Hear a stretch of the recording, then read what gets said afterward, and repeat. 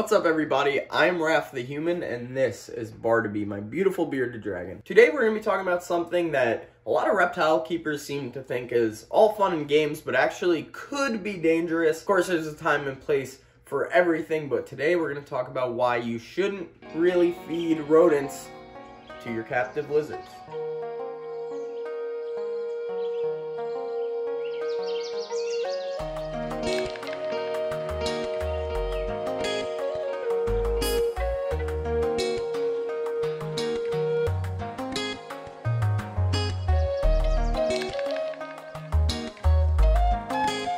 If someone tells you that you shouldn't do something, you should at least expect a logical reasoning of why, even if it's not correct, to open up the conversation. So here we go. As fun as it may be to watch a bearded dragon devour a rodent, and shortly here you are going to witness Bartleby eating her first rodent of all time, but it's to be really tiny. This animal, uh, basking in the outback of Australia, being that they're diurnal and semi-arboreal, they'll do some digging, but it's definitely not a burrowing style animal. She's probably not encountering a whole bunch of rodents. Even if oh, well, maybe, you know, you heard of somebody that was in Australia that saw a bearded dragon eating a whole nest of rodents or, or something like that. That is a wild bearded dragon. So when they see fat, they're going to take that opportunity because they don't know when they're going to get that much fat again. Versus Bartleby, along with many other captive bearded dragons that get fed way too much. So they're not going to need to take a massive advantage of this fat source that in the wild could make sure that they sustain life for a little while but I'm here to do that for Bartleby, right? She doesn't have to worry about it. And some may say like, well, oh, well, she ate it and she wanted more. Like, why not? Why not keep feeding her more of those?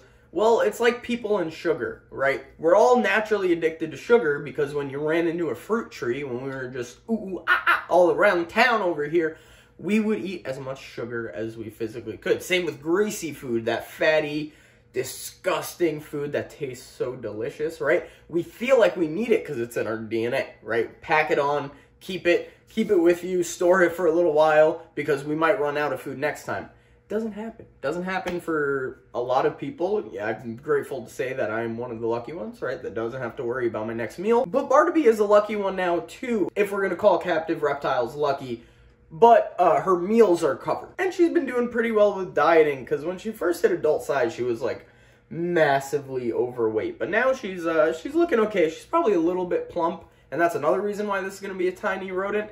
But uh, these guys are supposed to eat veggies anyway as adults. Like the vast majority of their food should come from vegetation. And as fun as it may be to watch her eat this mouse that I'm about to feed her for the first time ever, it'll kill her, right? If I feed, if I keep feeding her mice because it's fun to watch, she's gonna die young because reptiles do not process fat the same way we do. They don't metabolize things as fastly, as fastly, wow, as quickly as we do. But being that she's never had one and she's been such a good girl lately eating her greens, why not? She's, uh, she's intrigued.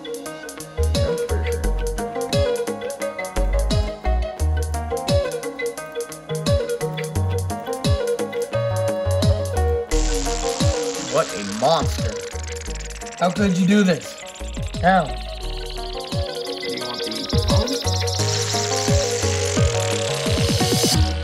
Okay, Bartleby, uh, that's enough food for you today. So, go get warm, have a couple other lizards to feed rodents today, but these next two are a little bit different than Bartleby's situation. These two arguably can handle a bit more protein. These are animals that are maybe not quite as athletic as animals like Bartleby and other bearded dragons, uh, can't run and jump the same way that she can. To be less polite about it, more potatoy animals, okay? Animals that aren't doing much hunting, and I mean, you could argue that all reptiles are really opportunistic eaters, but I, am pretty confident Bartleby could run and chase something down if she wanted it, versus animals like Smog, my blue-tongued skink, and Zilly, my Sudan plated lizard, who can be pretty quick, but uh, maybe not quite as agile as some other animals. And I'm fairly confident that in the wild, both of these lizards that we're going to feed next may run upon a little rodent's nest in a burrow and would probably take advantage of every little mousey that they could get. So it's still not something I'm going to do super often with these guys, But let's feed more lizards, more rodents. So Smog, our blue tongue skink, has actually never tongue fed for us. I just sprayed down his enclosure that usually gets him out and about. But to give him some time to hopefully get more active,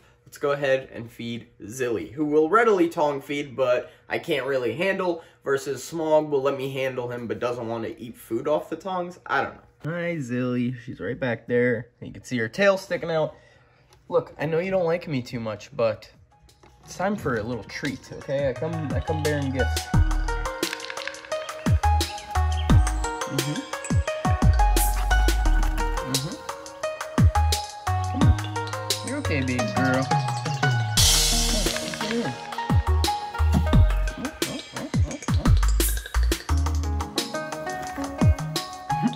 We'll reinvest the earnings into foreign currency accounts with compounding interest, and it's gone.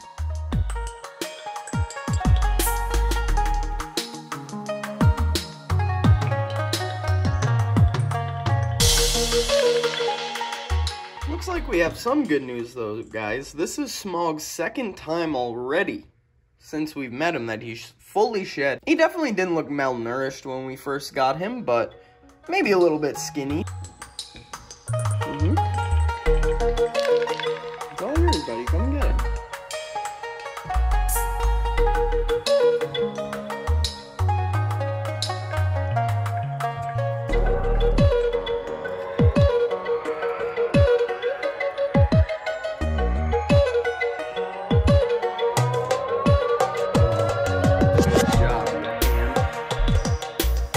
Such a?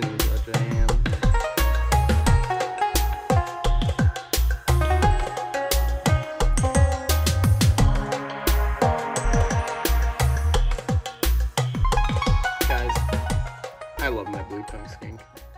You're such a good boy, Smog. No more. That's it. I just pet you.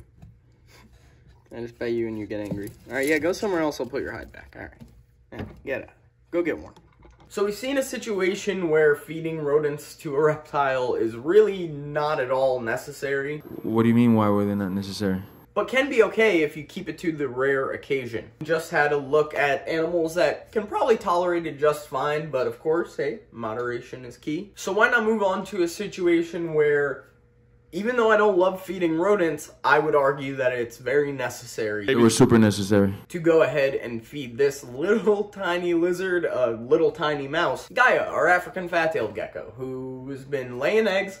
Think she's all done for the season. We ended up with six good eggs and one didn't hatch, and two clutches, so four eggs that were just not good eggs. And these are tiny eggs, but she's a tiny lizard, and these eggs are a large percentage of her body. Every time she lays those eggs, she is using a lot of her own fat, her own calcium to create them, and then poop them right out of her cloaca. To make sure that she stays nice, strong, and healthy and those eggs don't sap everything that she has, we have done this a couple times already this season, but now that I think that she's all done laying eggs, it's a great time to give her her last rodent of the season. And she's been doing good keeping weight on, eating things like crickets, superworms. But I say we just put a little uh, feather in her cap here. And by feather, I mean mice hairs.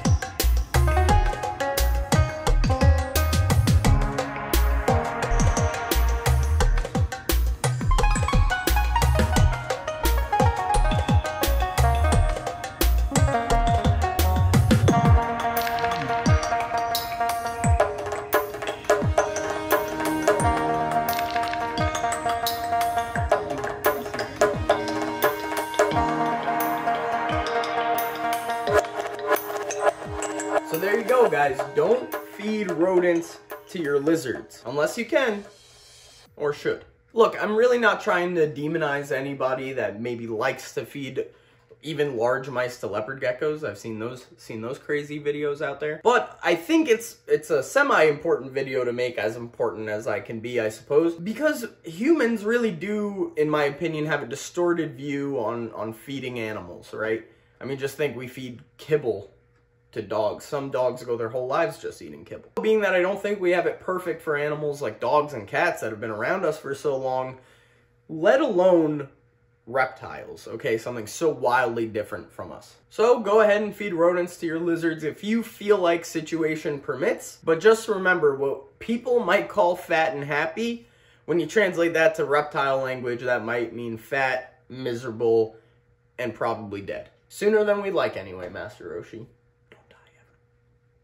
I'm Raph the human. This is Roshi the leopard gecko, who was not fed a rodent, but the uh, closest reptile I could see to grab that didn't just eat. And you've been watching Red Ribbon Reptiles. If you enjoyed today's video, make sure you hit that like button, subscribe to our channel, means a whole lot, and we'll see you next time.